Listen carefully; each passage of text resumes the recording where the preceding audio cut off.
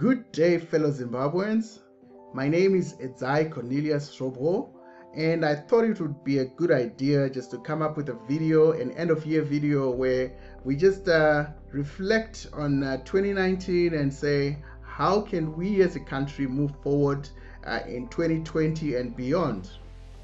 I am not a politician, I am not an economist or anything special. I'm just a human being, a citizen of Zimbabwe who would like to see his country perform better uh, politically, economically, socially, and in all aspects of, uh, of life.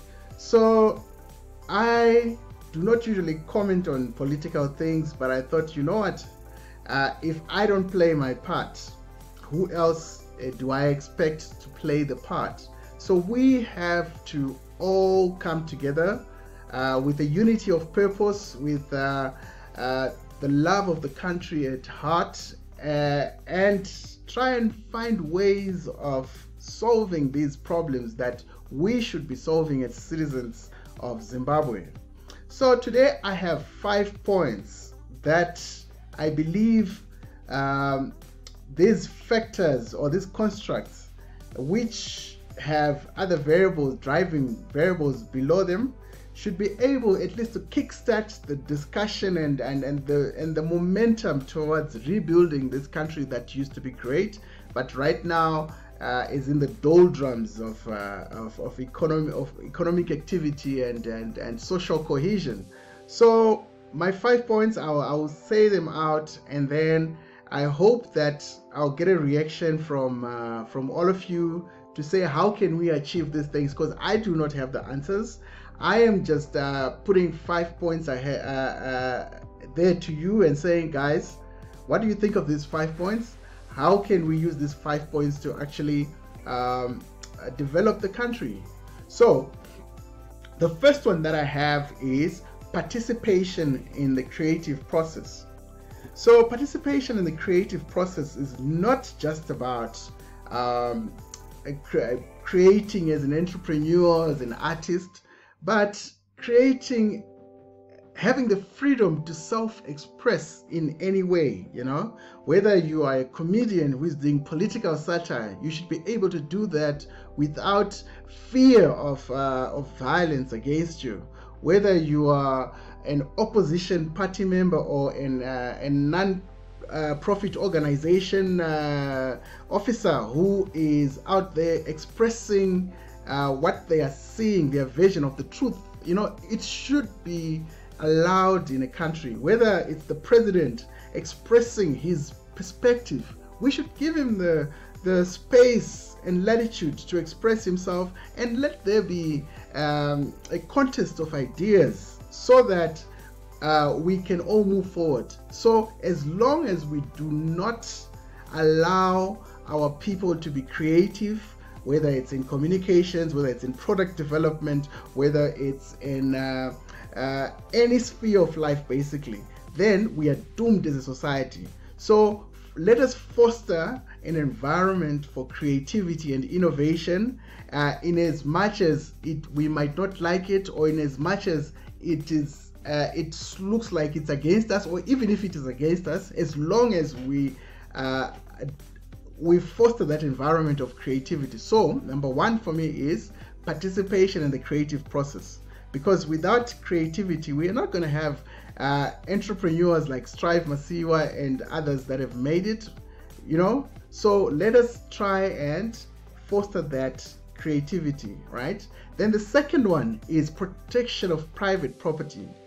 Now, if I am creative, right, and I'm innovative and I've come up with a product or I've come up with uh, with uh, with a new way of uh, distributing products or communicating or whatever it is that I've come up with, I should be able to, through intellectual property, through uh, means to be able to protect that so that I can be acknowledged for my work. You know, if I have a farm, if I have a house, if I have money in the bank, I should be able to uh, to be at ease, right? To know that I can be creative and I can accumulate property and that property will be safeguarded because pr- protection of private property is essential. It's non-negotiable right? So as long as we have uh, uncertainty and lack of trust in the system and uh, people not sure whether their property is actually protected then we are going nowhere as a country. No one would want to put their money in a in a in, a, in an environment like that. And no one would want to uh, uh sweat and be creative in such an environment. And um, this is why local investors and international investors are not putting their money because there's no confidence in the system. And we have to uh, fundamentally change the way we view private property and its protection. Then the third one is the accumulation of wealth. The accumulation of wealth is a God given right, right?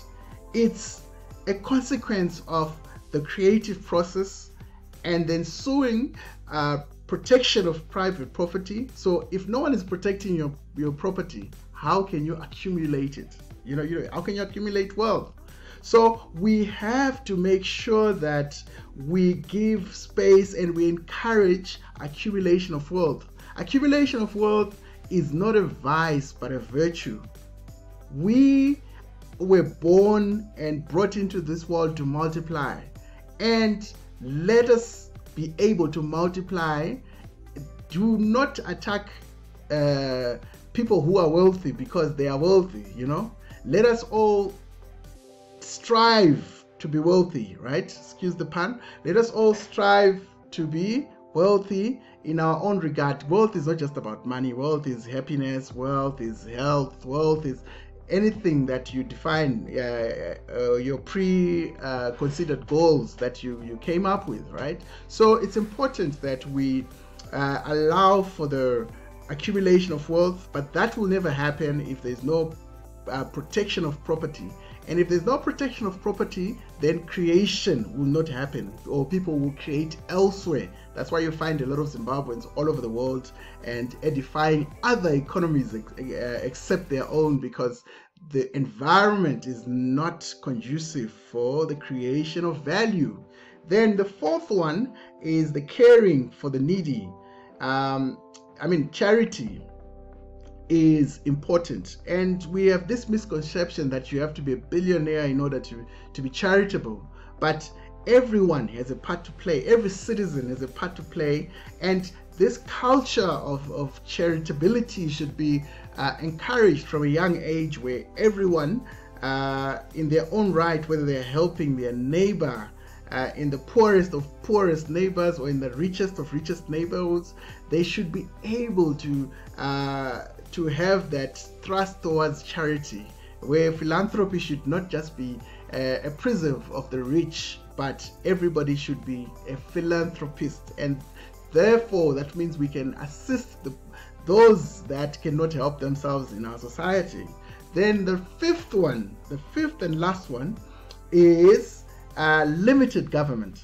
It's important that uh, we do not have a centralized decision making system where we, we have uh, people that become too powerful right? So decentralization of decision making and autonomy which is uh, in other words freedom of the citizens should be encouraged. So let us all as citizens who give power so we delegate uh, our power our decision making power to to those that we appoint in office right? They work for us they are civil servants, they work for us. And as long as we still have the culture of the guy in government is chef, then uh, we are going nowhere. We have to uh, make sure that we exercise our power as citizens, whether it's through voting or through referendums or any other legal mechanisms that are there to be able to make sure that those that we've put into power, uh, into office, are accountable to us and have our interests at heart. And if they are not doing what they're supposed to do, then they should be shipped out. You know? So let's let's understand our power as citizens and let's not give too much power to the office bearers uh, because it is our power anyway Uh, the power is in the individual, you and I, and limited government.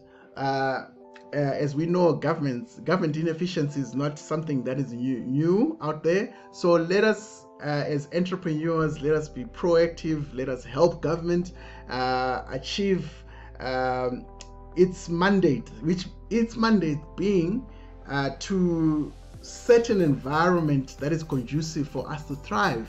Basically, that's why government exists to be able to maintain order and peace and an environment that allows every citizen uh, to, to flourish right so i'll do a recap of my five points that i believe that if we look at each of them seriously then hopefully our future is going to be bright if we take it seriously so number one is let us uh, give space and room for participation in the creative process number two uh, protection of private property is non-negotiable. Number three, the accumulation of wealth is a birthright of every citizen in the country. Then number four, let us care for the needy. You, we don't need to be billionaires to care for the needy. Whatever little that you have, you can share with your neighbor. And then the last one is, uh, let us have a limited government. Let us um, decentralize decision making to avoid uh, people that are too powerful uh, and end up abusing uh, the very citizens that put them in the office. So these are my little points that I believe um, are very general, almost uh, common sense, but we are not doing that. So, in as much as it's common sense, we are failing at common sense. So, Zimbabwe, I hope you have a beautiful uh, 2020 and beyond. And uh, let us work together. Um, and a shout out to all the people that are working day and night to make sure that we have uh, an amazing country. Thank you, Zimbabwe.